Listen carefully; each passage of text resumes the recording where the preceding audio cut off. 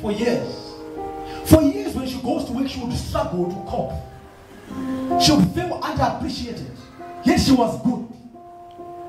She would feel underpaid, yet she was good. She would feel, "Moya, I'm not doing more than I wanted. The days I wasn't working, I'm not doing more I should do bas, they are not appreciating me. Why don't I change the job? And I say, baby, if you want to be a conqueror in life, learn to work as if you are working for God.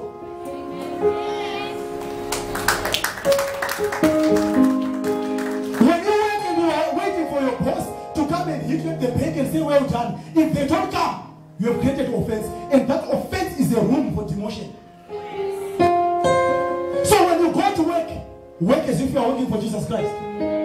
It doesn't matter who comes to say, well done. Work knowing Jesus is saying, well done to you. When I told her that, she created a vacuum of promotion in her life permanently. Every time when you are working and you feel you are not being appreciated, it means you have developed offense. So whatever you do, if you are cleaning dishes, you could be you could be a maid, you could be a garden boy.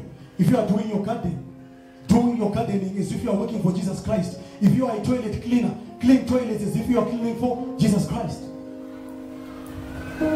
Expectation of gratitude is room for offense. Expectation for gratitude room for offense. Stop expecting.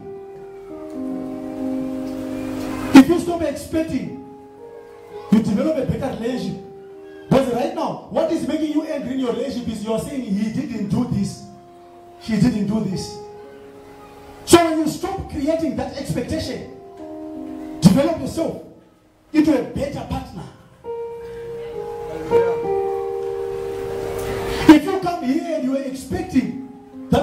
On you and I don't lay hands on you, the moment you leave the service, after all these hours, it means you are going back home with dead faith.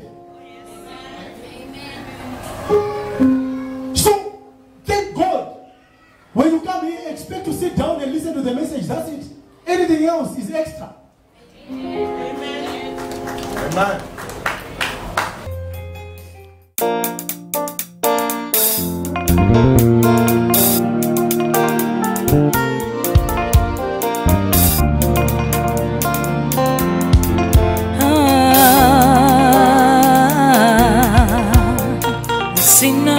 of freedom, the chamber of the living God, the synagogue of freedom.